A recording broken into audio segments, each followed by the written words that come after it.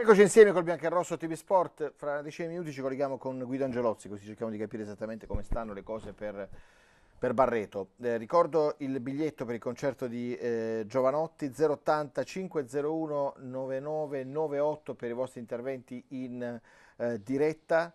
Ma a te che vada via Gile non ti dispiace, ad esempio, che vada via Gazzi non ti dispiace? Cioè, cosa, io provo smarrimento, devo dire il fatto che vadano via Gilegazzi, più che Barretto, devo essere sincero, sì. no, adesso, il fatto che vadano via Gilegazzi mi dispiace molto. Adesso mi, mi hai fatto due nomi di, di, due calciatori seri, soprattutto due uomini, due professionisti sani, eh, di, di, sani principi e che hanno dato veramente molto per la nostra squadra e, e che sono gli idoli indiscussi. Questo sicuramente farà molto male a tutti i tifosi.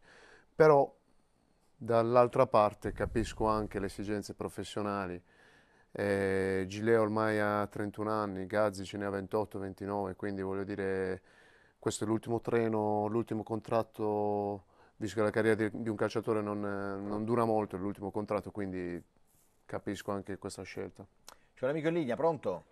Sì, pronto, buongiorno Ciao. a te Enzo e a Giuseppe Manzari. Ciao. Ciao Enzo, volevo rispondere al giochino, se possibile. Allora, chi è questo giocatore?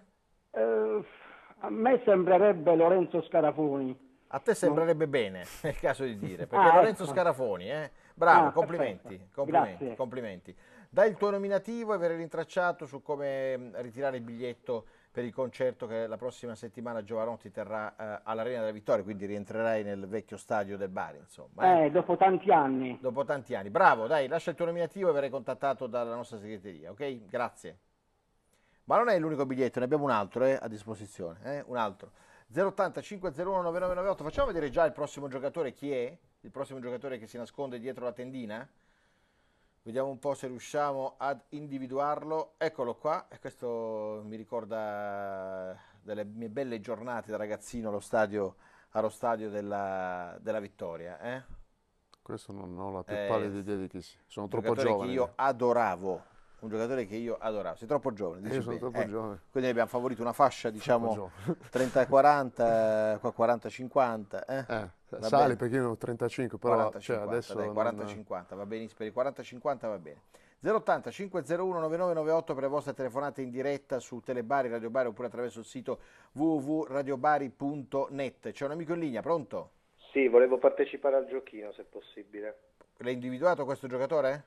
Per me è Stefano Pellegrini. Per te è Stefano Pellegrini. Qua dobbiamo cambiare la tendina, lo dico ai tecnici, è troppo facile il gioco. Perché, è troppo facile, dobbiamo andare verso l'innovazione. Hai indovinato, bravo, bravo, Stefano Pellegrini, Grazie. giocatore che, per il quale io stravedevo e eh, che magari un giorno contatterò anche al telefono per, per salutarlo. Lui è un giocatore formidabile, tecnica e velocità ai, ai massimi livelli. Aveva solo un limite Stefano Pellegrini, che era da 10 in casa e da, da, da 5 in trasferta, perché in trasferta veniva un po' meno sul piano caratteriale, mentre in casa era un giocatore formidabile, ricordo in particolare una tripletta contro il Varese, un gol più bello dell'altro, davvero da collezionista. Grazie, anche tu puoi lasciare il tuo nominativo, i biglietti per il concerto di Giovanotti li abbiamo, li abbiamo dati, fra poco collegamento con Guido Angelozzi e intanto, visto che c'è alle nostre spalle Torrente, ti chiedo Torrente. Eh, Enzo, eh, chi lo sa, io onestamente, allora, eh, non ho mai visto giocare le sue squadre, però insomma da quello, dai risultati che ha ottenuto eh, sembra, sembra, un buon allenatore. Eh, gli hanno fatto un contratto di un anno, io non so fino a che punto sia, sia, in questa situazione sia giusto fare i contratti annuali perché se veramente si vuole dare una svolta, e qui io non sto parlando Enzo di sborsare milioni di euro, io sto parlando di resettare tutto, partire tutto da zero e creare un progetto che sia vincente, che piaccia alla gente.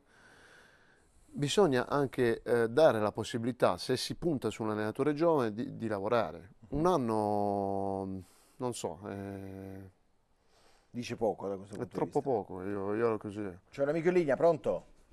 Sì, buongiorno, io vi sento per radio, non vi vedo. Sì, ciao. Ehm, volevo sapere chi c'è come ospite? L'ospite è Giuseppe Manzari, Associazione Barintesta. Ah, ecco, ma io vi sento, cioè sento la radio, state parlando, è in diretta? Sì, sì, in diretta. E vabbè, forse c'è un ritorno. E può essere che sia leggermente differito il ritorno, eh? Va leggermente bene, differito. Non ci sono problemi.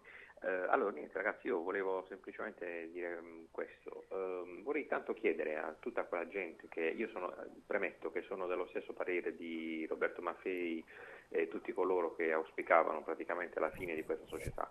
Volevo soltanto sapere, cioè a livello di curiosità, eh, vorrei tanto sapere da chi eh, dice che eh, il, la retrocessione nelle serie minori sarebbe una tragedia, queste persone che differenza vedono rispetto alla cioè che, che differenza vedrebbero a fare un campionato di Serie C di ottimo livello rispetto alla mediocrità e allo squallore nel quale siamo caduti, come in campagna acquisti, cioè come gestione della società, eh, come, co, come, tutto, cioè io non vedo nessuna differenza, qua siamo caduti in una mediocrità unica, primo. Secondo, una considerazione, come volevasi dimostrare durante il campionato scorso, praticamente siamo retrocessi noi tifosi che non ce lo meritavamo, mentre tutti i pagliacci che andavano in campo rimarranno tutti in Serie A, tutti quanti ad altissimi livelli, continueranno a percepire ottimi ingaggi. Arrivederci.